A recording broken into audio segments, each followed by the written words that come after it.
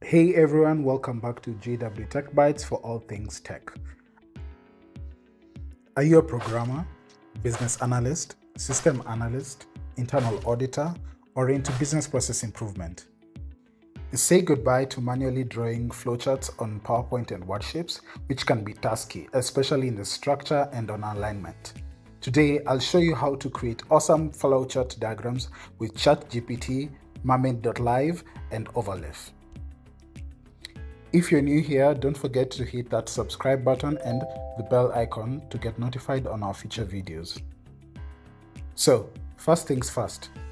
As usual, you will need to have a ChatGPT account, then open a new chat where we'll enter our prompt.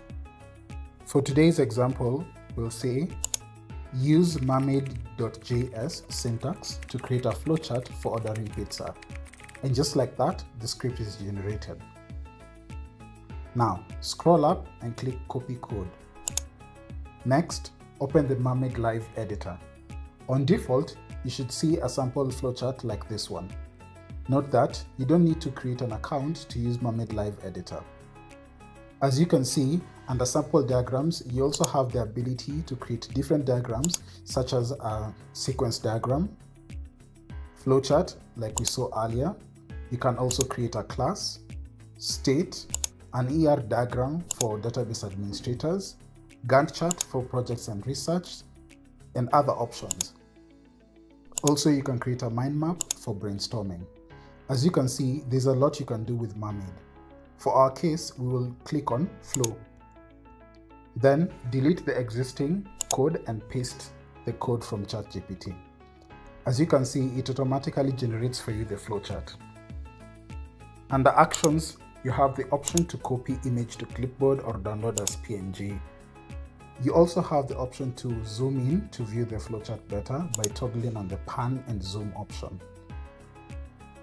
Mermaid is a free, powerful tool that helps you create different types of diagrams and with the help of ChatGPT, you can simply have ChatGPT write the code and Mermaid Live Editor generate the diagram.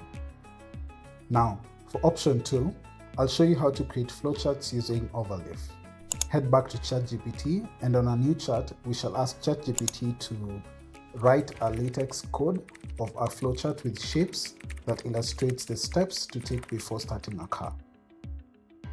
Once the code is generated, simply scroll up and copy the code, then go to Overleaf. Here, you will need to register an account. Luckily, they provide a free plan for one user. Once you are done, click on Create First Project then select blank project. Then we'll give the project a name. Let's call this one flowchart. Then click create. Next, you need to delete the code shown and then paste the code from ChatGPT. Click recompile to generate the flowchart. Since I have a download manager, it gives me the option to download the image immediately. Let me disable this and try again. Okay, I have disabled the manager. Now, refresh the browser. As you can see, it now shows the flowchart diagram.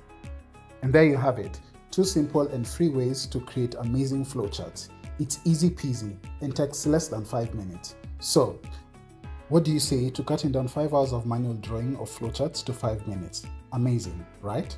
Get started now. I will leave links on the description below to make it easier to get started. I hope you enjoyed this video and learned something new. If you did, please give this video a thumbs up and share it with your friends. And if you have any questions or suggestions for future videos, please leave them in the comments below. Thanks for watching and I'll see you on the next one.